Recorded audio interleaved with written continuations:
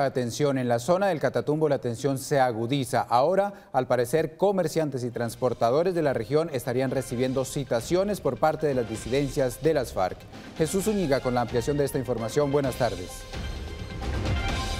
Gracias, compañeros y televidentes, muy buenas tardes. Pues defensores de derechos humanos y asimismo la Alta Consejería para la Estabilización y Consolidación manifestaron su respaldo a los comerciantes de la región.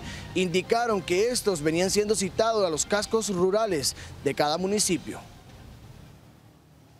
Preocupados han estado los comerciantes y transportadores de la región tras posibles citaciones por parte de las disidencias de las FARC al sector rural de los municipios para temas de cobro de extorsiones.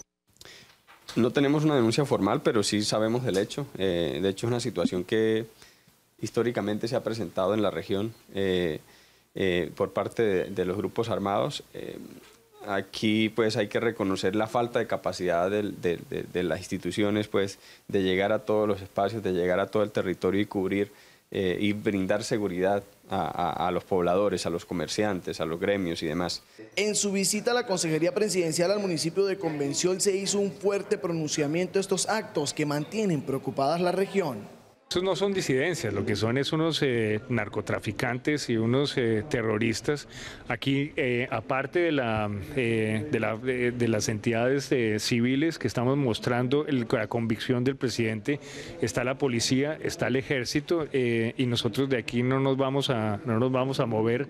Se espera que retorne la tranquilidad y que la paz llegue a la región del Catatumbo para evitar hechos que mantengan el temor en las comunidades.